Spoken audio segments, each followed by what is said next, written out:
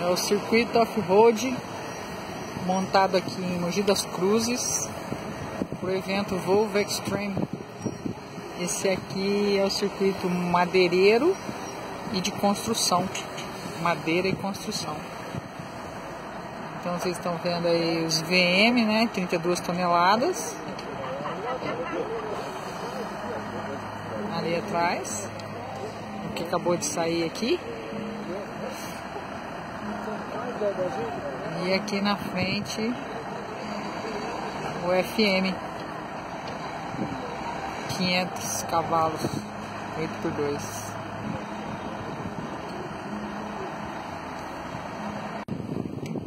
ali a rampa que foi montada. Olha lá o FM o VM 32 toneladas subindo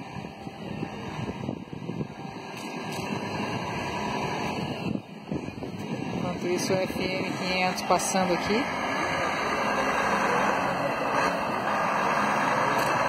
Basculante.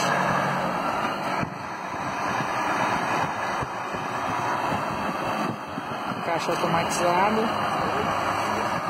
dois E lá ao fundo o VM subindo na rampa com madeira.